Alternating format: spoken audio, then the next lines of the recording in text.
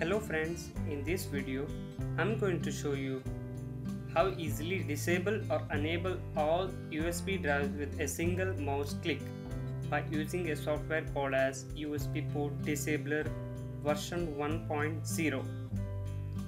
USB port disabler is a simple Windows OS software useful to disable all the USB to prevent the data theft. By using this software, you can easily lock or unlock the USB ports, restrict the users from USB dri drivers in your computer. First, you need to download the software by using the below link given in the description. Yeah. Install it.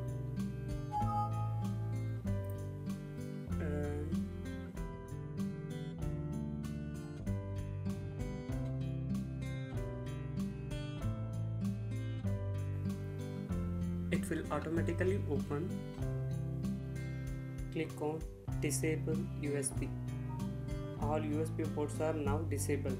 Click on OK. Let's see now.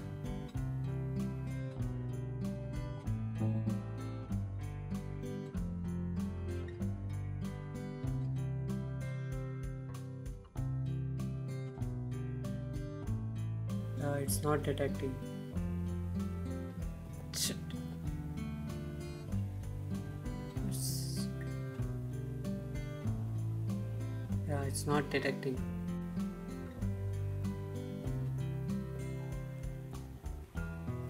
Now enable USB click on OK. Now re insert your USB drive